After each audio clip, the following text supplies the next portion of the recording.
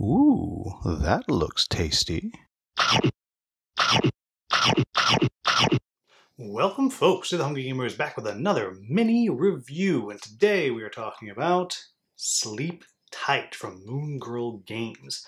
Now, very quickly, Sleep Tight is a one to four player game in which you are taking on the role of children that have fallen asleep and the Sandman has pulled them into its well, its nightmares as creating and an attempt to steal the souls of the children. And in order to win, you're going to be playing cards that will either damage the Sandman, steal soul fragments from the other players around the table, or perhaps protect you from the attack of the Sandman. Or if you really want to, use it to team up with the Sandman and try to stop the other players from winning. If nobody wins, then you win. And there's a couple of ways to win, as you can tell. There is the team up with the Sandman and then kill everybody else by stealing their souls. Very, very happy, family friendly. Or you can, as a team, simply defeat the Sandman. Or you can gain enough soul fragments in order to be able to play the card that allows you to wake up. And if you're the one that wakes up, then you win by yourself. On any given turn, you're going to play as many cards out of your hand as you want, face down on the table, and you're only able to do that if you have the right amount of soul fragments. Now, soul fragments aren't spent, but you have to have however many are on the card in order to actually play the card. And keep in mind, each turn you're only going to draw one card, so the more you play on this turn will mean that you will have less to play next turn. Then the Sandman will play its card, and it might nullify some of your things, it might cause you to take extra damage, whatever it might be, and then you will rinse and repeat and go on through the game. It's also important to note that, as I said, that sometimes you're going to play cards that are going to redirect all the damage you take to one of your co-players, or maybe you're going to damage them or steal something from them, and so on and so on and so on.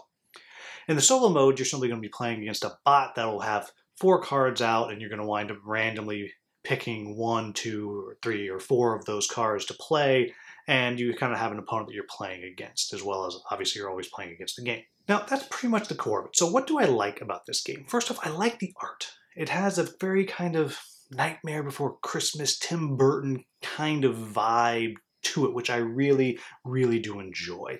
I think the game plays very quickly. I love that's a tiny little box, easy to take anywhere. The solo is very easy to set up and play.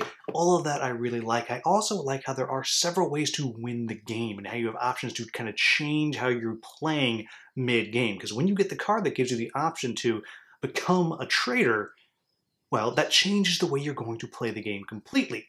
You can also kind of set up say, no, okay, with this game, we are only going to try to beat the Sandman, or this game, we're just going to play everyone for themselves, first person to wake up, or you know, whatever it may be. But there's so many different options that are out there, and I do really, really appreciate that.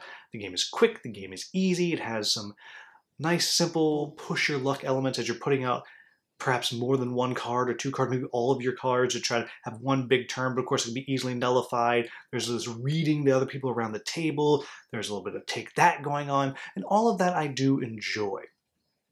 So, what are my quibbles with the game? Well, the first one is it can be very mean. This is one of those games that it can just be mean, and it has that potential to become a traitor mid game, and that might not be for everybody. It's also got a little bit of an identity crisis going on. And even though I just praised it, that there's so many different ways to play, that might not be something for you. You might not like the fact that you can win all together. You can win just by yourself. You can win by killing everybody else. And every game, unless you make a gentleman's or gentle person's agreement, I should say, or take cards out, you never know what the game is going to be and it's going to change all the way around all the time. And that might not be for you. That might bother you that the game state is changing mid-game. And then my only other quibble with the game is that I didn't find the solo very satisfying. And the reason I wasn't very satisfied by it was yes, you have a bot that you're playing against, but it I didn't feel like I was really playing against it. I felt like I was playing against the Sandman and then there was this other deck that was sometimes doing things that might affect me, and sometimes it did nothing. And it works and it allows you to play the game solo, but I just, I feel like it needs to be developed a little bit more. But there you have it, folks. That is Sleep Tight. I think this is a clever little game. It's not very expensive. It doesn't take up a lot of space on your shelf. And the art is wonderful. It's a unique theme. And I think it's something that if you're okay with that fluctuating game state and the fluctuating wind conditions, this is one that you just might really enjoy if you're okay with that.